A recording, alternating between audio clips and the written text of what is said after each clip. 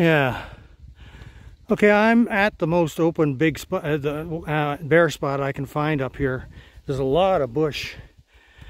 This is the most open spot I see here. It's it's long. It's not the greatest, but it's uh, not the worst either. But the the view is not as good as I thought it would be because there's so many trees around. Like I know out that way, there's some lakes out there, but I can't see them because the trees are too high here.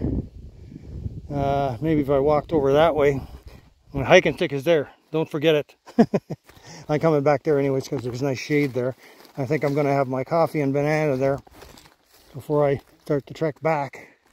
Yeah, I just want to see if I can see those lakes that are over that way. Maybe not. Uh, hmm, I don't see them. Yeah, it's so much bush, you know. They are down there though. And it's a big drop down there, you can see.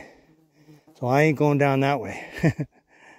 okay, so I might fly my drone from here and that'll tell me where the lakes are. But I'm going to have a rest first in the shade and uh, sort of dry that sweat up off me and relax a bit before I try to fly the drone. Oh boy.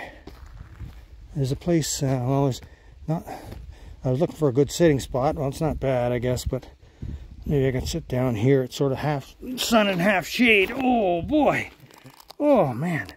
Okay, so I'm sitting here and the black and the um, deer flies and the mosquitoes are having their way with me. But I got to take a break. Let's do that.